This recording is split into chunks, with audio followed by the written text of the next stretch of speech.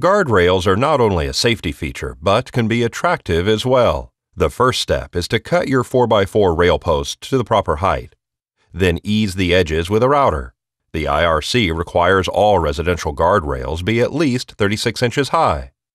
Check with your local building department for more information.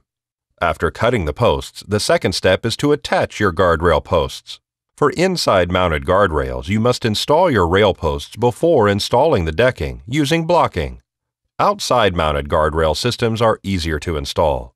We recommend that you don't notch your rail posts. Rail posts should be spaced no further than 6 feet apart. Use two half inch carriage bolts to attach each post to the rim board. The third step is to measure the distance between each rail post and cut your 2x4 top and bottom rails, then install them between the posts, allowing for a 3.5 inch sweep space. Use four 3.5 inch trim screws driven in diagonally for attachment. The fourth step is to attach your balusters.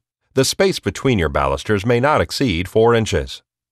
To determine your baluster spacing, start by marking the center of the rail. Then position a 2x4 spacer block from the center mark and walk it towards the post. This will determine whether you will have a baluster or space at the center of the rail.